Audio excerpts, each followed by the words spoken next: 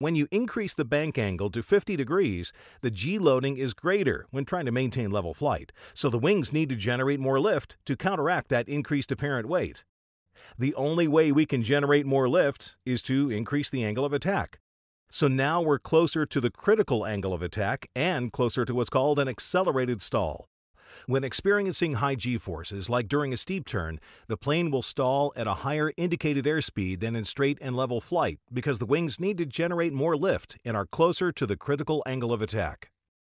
Since this is an outside maneuver, you need to figure out what the proper pitch attitude looks like. This is the relationship between the horizon and the instrument panel. You can make a quick note of that with a dry erase marker or a small suction cup. Once you establish the proper sight picture, the trick is to keep checking your outside attitude with your altitude. The altimeter is the primary instrument for that, but don't discount the vertical speed indicator. It tells you your trend, and that will help immensely in holding altitude.